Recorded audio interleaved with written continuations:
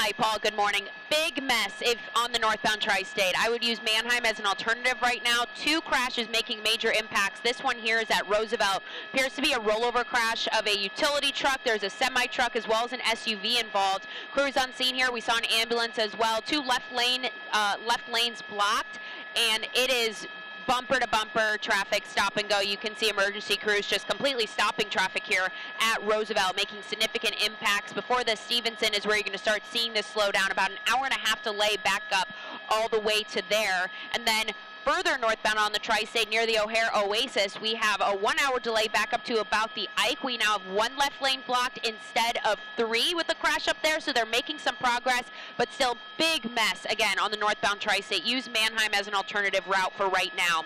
Inbound on the Ike, that crash near Irving Park still has three right lanes blocked, involves three vehicles this morning, really impacting those who are using southbound Route 53 this morning. Uh, it's, it's pretty bad here out west. We'll keep an eye on things and have some updated travel times for you coming up.